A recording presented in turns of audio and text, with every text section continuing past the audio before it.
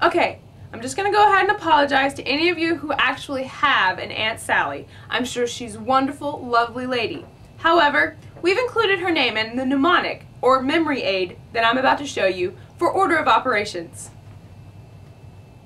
Please excuse my dear Aunt Sally. Okay guys, run the slide. Okay, what you're looking at now is the order of operations in which you're supposed to work a problem that has several different operations in it. It stands for parentheses, exponents, multiplication, division, addition, and subtraction. If you don't do the problem in the right order, you end up with the wrong answer. Let's go look at some problems and I'll show you what I'm talking about. Let's say we have a problem like this. 5 squared minus 2 times 3 squared plus 4.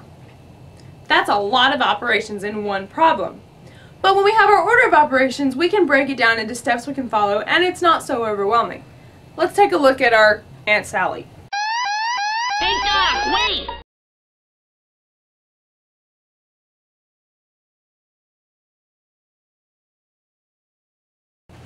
Please excuse my dear Aunt Sally. Well, parentheses come first. Do I have parentheses? Uh, yes, around the 3 squared. So I need to do that first. Watch out for that first step, Mac. It's a Lulu.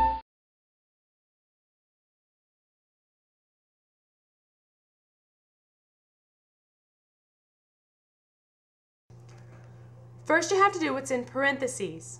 3 squared is 9. Then, doing the exponents, 5 squared is 25. 25 minus 9 times 2, or 18, plus 4 is the same thing as 29 minus 18, or 11.